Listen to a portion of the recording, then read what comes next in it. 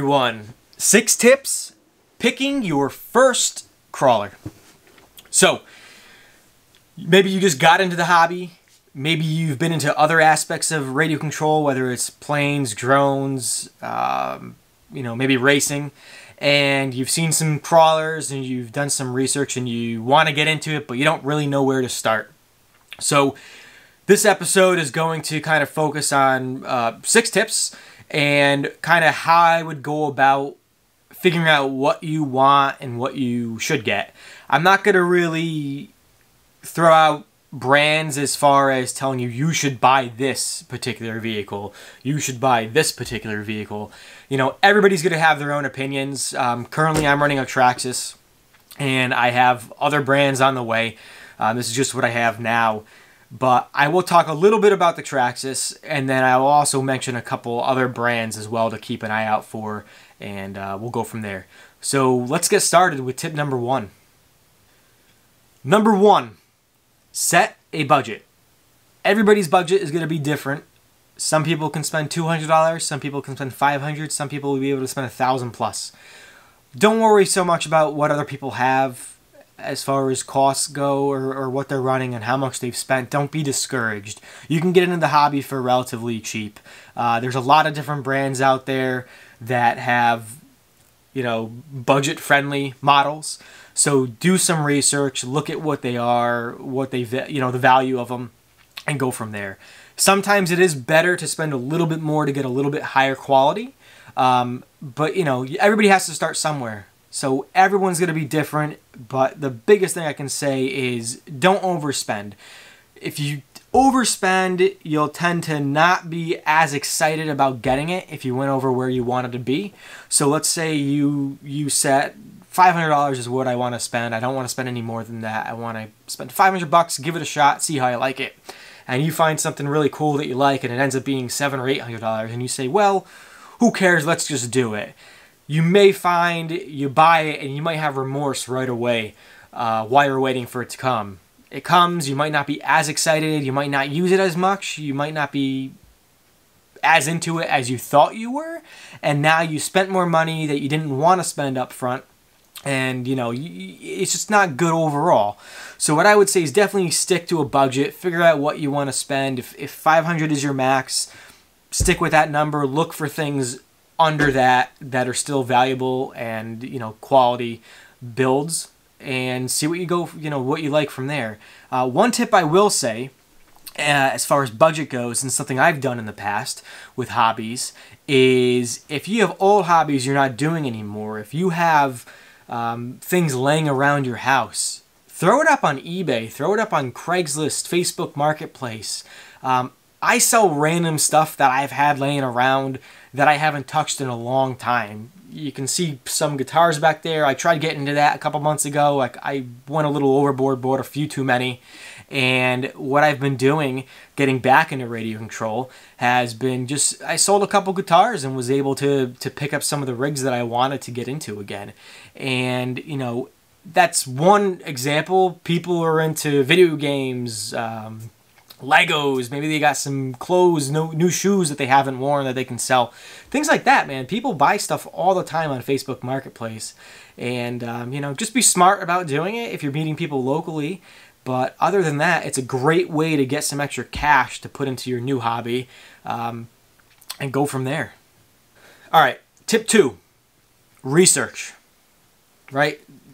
You might be spending a lot of money, you might be spending a little bit of money, but no matter what you're going to spend, research what you're buying. Nothing's worse than buying something because someone said, oh, you should buy this. Picking it up and then finding out it doesn't really do what you want it to do or it doesn't really fit into the class you want to run. Um, my big thing I run are I like scalers, meaning I tend to run 1.9 scale tires, um, rigs that look that they could be real. Um, that's my style. Uh, other people want straight up competition, four wheel steering, just crawl over anything that they can, and and that's great too. So definitely research brands. What brands are you looking at? Axial, um, RC four wheel drive, Traxxas, Cross RC. You know, Dur- Duratrax I think makes a couple uh, cheaper beginner crawlers. Um, look at the brands, see what they offer you.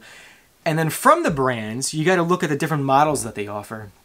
So the example I'll use is Traxxas, right? So the Traxxas is a TRX4, is their crawler. Um, the, the standard ones have some more features than the TRX4 Sport does, but the TRX4 Sport is about $150, I think it is, different. So you're going to spend a little bit less money. It's still a very capable rig. Um, so that might be where you want to go. You might not want the additional features of the more expensive vehicle. So definitely look at what each offers. You know, there's trade-offs. Obviously, spending spending $340 on a TRX4 Sport versus spending $450, $460 on a the TRX4 Defender, um, Bronco, or $400 for the tactical. You know, there's different things involved with each of those. So definitely see what you get. I know Axial has the um, SCX10 2 out now. They had the older SCX10 was the original one, so there's there's upgrades and, and new features that they've added. So definitely look at what you're getting for your money and, and what you want. One thing I would recommend is um, don't rush into it. Do research, post. There's a lot of Facebook uh, groups out there. There's uh, forums. You know, the big one I'm on is rccrawler.com. Uh, I've been on there since 2006. There's a huge amount of knowledge and people willing to help you in those aspects of, of you know what you're looking for so definitely don't be afraid get on sign up ask questions and the biggest thing i can say when you get onto a forum or a message board is read so many people have asked the same questions you're going to ask. What rig should i get? How much should i spend? You know what does this one do differently than this one? Definitely get on there. There's a lot of i know on crawler there's a lot of um, individual boards or, or forums uh, or, or sub forums for different rigs. So there's one for the Traxxas TRX4, there'll be one for Axial, there'll be one for Duratrax, and so on. So definitely get out there when you narrow it down to a couple that you like, start researching those more heavily to see what you're really drawn to.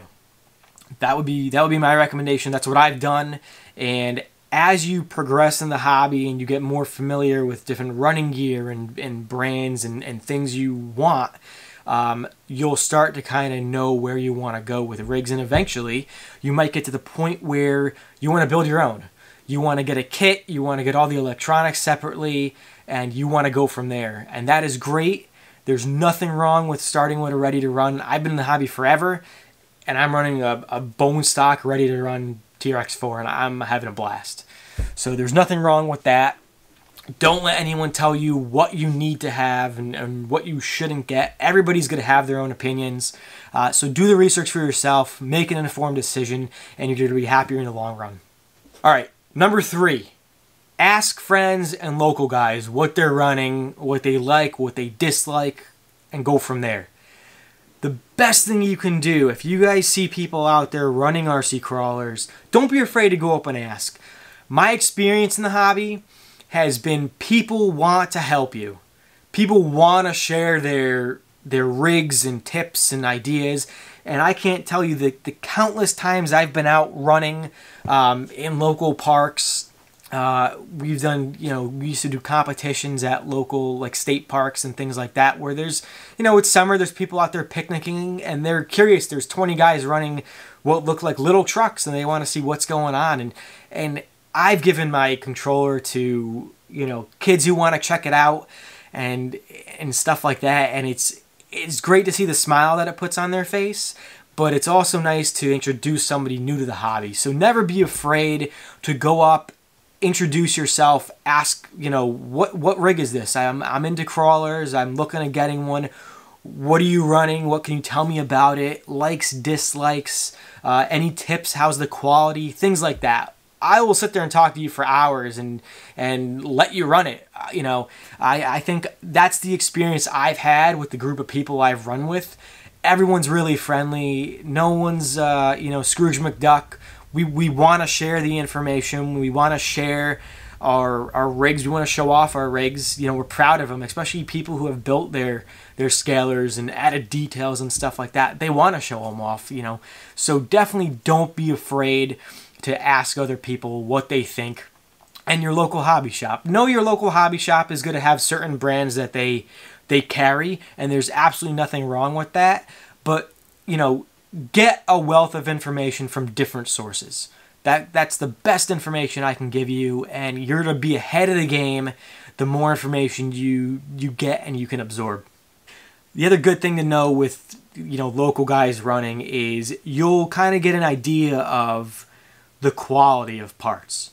You know, if if 10 people are running Traxxas's and you have another six or seven people running Axial based rigs and that's going to give you a huge amount of information for those two specific rigs those guys running Traxxas are going to be able to tell you you know oh well this has been great but this hasn't worked so well or oh on this axle um, you know this was really good but you know i don't like these these axle cases or the gears might not have been good or, or whatever the case is and those those aren't things that happen. I'm just throwing out ideas, but um, you know, for the instance, the the Traxxas I've heard the steering servo is kind of crap.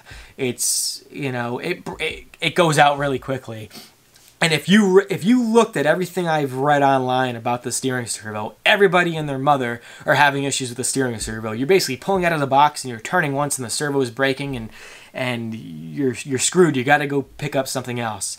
And you know, I ha- I don't have a lot of time on the rig, um, but so far I've had no issues. I've had it in water. I've had it out on the rocks. Uh, you saw in my other video that I posted yesterday, and um, you know, it wasn't too much rocks. It was more mud and more of a trail kind of run with roots and stuff like that. But it was great. You know, for the couple hours I ran it out there, it was it had no issues.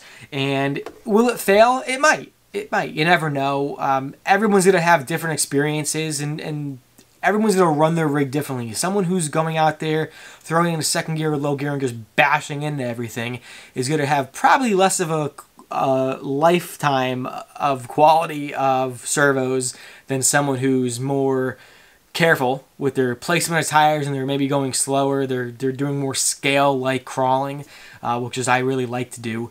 Uh, it, it photographs and films really well and that's more my style. Don't be too afraid if if you hear a lot of bad things about a, a quality brand.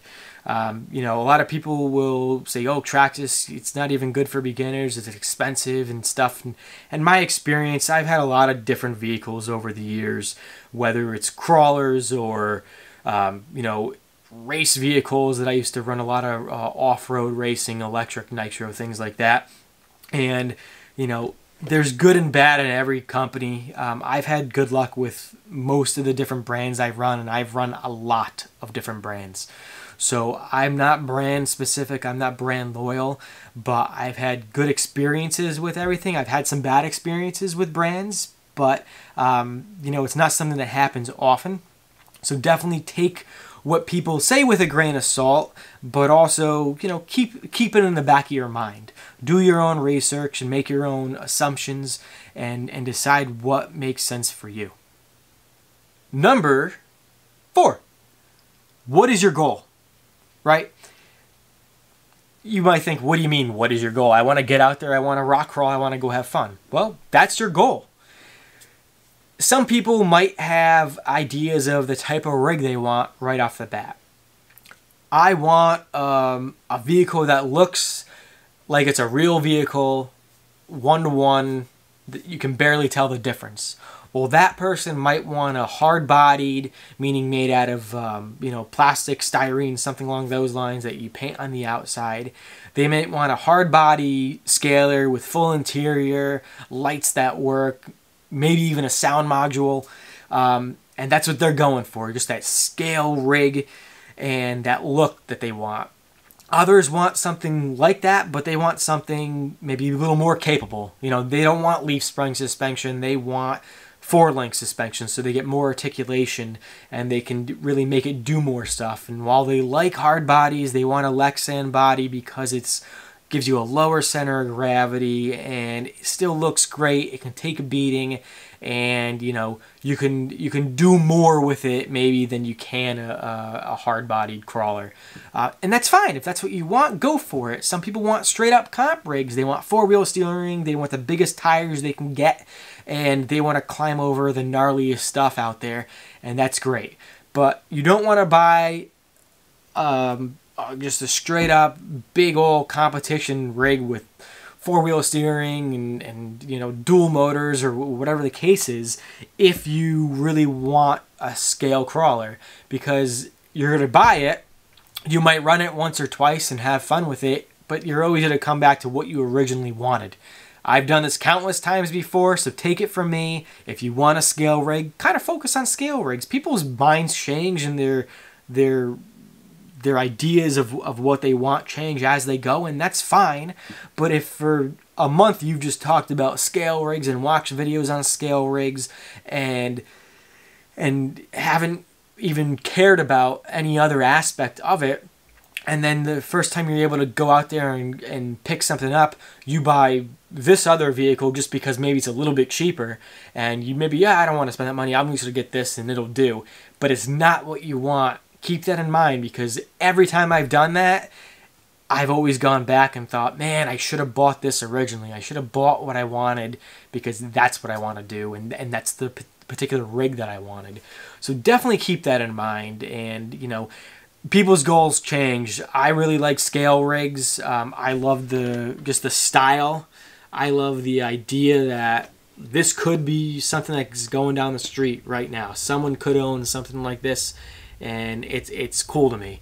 Um, but that doesn't mean I don't want to compete. So I can compete in the scale class with something like this. A lot of clubs locally have you know different rules and things like that. And going back to um, tip three is you know having those local people and local clubs. If you know you want a scale rig, um, find out and you want to run it in competitions definitely find out rules and stuff like that. Some they have to be stacked, some you can do certain upgrades to them. So definitely find out how those guys run it and and see what makes sense for you. But going back to your goal, if you want a scale rig, get a scale rig. You want a comp crawler, go get a comp crawler. I've had everything in between. I've had huge, you know, super class crawlers that um, could get up crazy boulders you would never think they could. And I've had a lot of scale stuff, and, and I tend to kind of draw myself to the scale stuff more. Um, it's more my style, it's more my speed. I dig it. A lot of the guys that I run with run 1 9, 2 2 scalers, and, um, you know, to each his own. There's no wrong answer. Get what you like because if you get something that you like, you're to be happier running it. Number five, go with your gut right? Kind of going back to what is your goal. And, you know, if you like scalers, get a scaler. If you like a comp rig, go towards a comp rig. But go with your gut. Um, the example I can give you is this Traxxas here. So I looked at the Land Rover, I looked at the Bronco. There's some differences between the two. Not much. Um, there's this is a little higher center of gravity on the Land Rover uh, than the Bronco. The Bronco's a little shorter wheelbase. Um, but other than that, they're almost the same. They're the same um, gear wise as far as how they run their performance, um, as far as electronic servos, uh, locking diffs, things like that. But um, you know, going up the same obstacle, both of those will do things slightly different, just based on a wheelbase, um, center of gravity, the weight distribution, things like that. So definitely go with your gut. Um, I I ended up picking up this locally because I was looking for something to get out there right away with and get back into it. And even though I had looked at the Bronco online, I said, no, I, I always like Land Rovers. I've built a couple in the past. Let's go with the Land Rover. I'm going to have a blast with it. And I am having a blast with it. But every time I see a video of the Bronco, I've been like, oh man, I still want the Bronco. So definitely go with what you want, go with what you like, and your your gut instinct. If I had gone with my gut instinct, yeah, I might have had to wait another couple days to for it to arrive, uh, or the shop could have ordered it for me. But um, you know that instant gratification uh, for me was I wanted to get out there, get it, go run it, and have fun, and I, and I was able to do that. And in the long run, I ended up picking up the Bronco anyways. So I'll have an unboxing video of that in the next few days once it arrives. And um, it'll be interesting to compare them and get them out there together and, and see how they run and, and, and see where they go. Um, you know, if one's much better than the other. I know there's some clearance differences between the Bronco and overhangs and stuff like that, as far as definitely like rear um, rear bumper and stuff like that. So it'll be curious to see how that plays out. But either way, I'm having a blast. They're both really fun, and um, you know it, it's a great rig to get into the hobby with again. So I'm pretty stoked on that. Last but not least, have fun. If you're not having fun, why are you doing it? I do this because I really like it. I like the people, I like the community, I like the the companies that are putting together these rigs now. It has come so far back from 2006 and 2007 when I was into it heavily and even before then to now. We used to take TLT axles from a Tamiya TLT and make our own links with all thread, make our own chassis, you know, find bodies at department stores for the hard bodies that we would want to run.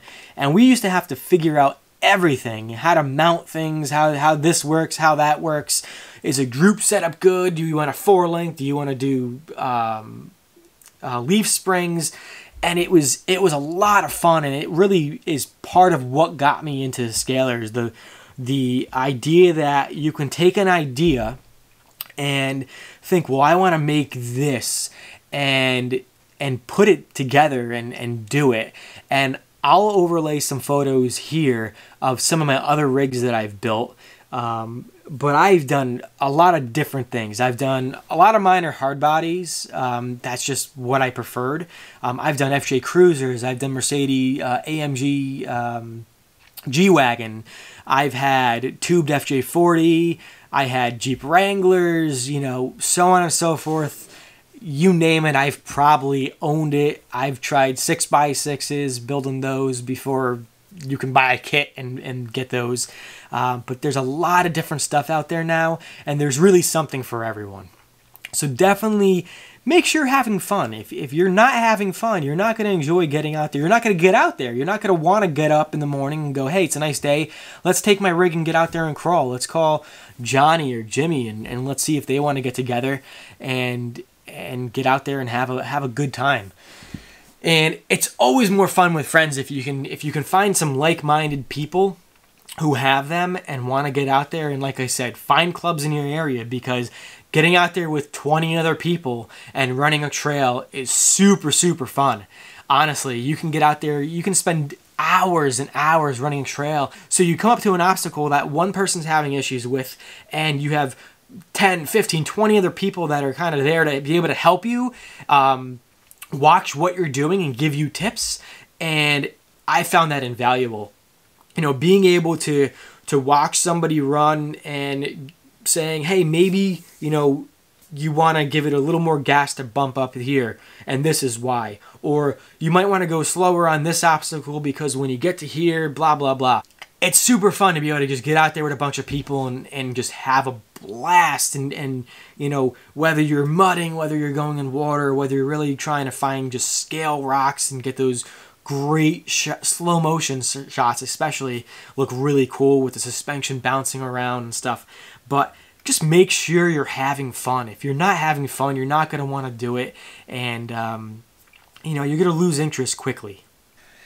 Guys, thanks for watching. I really appreciate it. I would love it if you guys hit the subscribe button, um, the little bell icon to make sure you are aware when I post new videos, and definitely like the video. Post your comments. You guys want to see certain things, uh, you guys have questions, please post in the comments. I will keep an eye on it.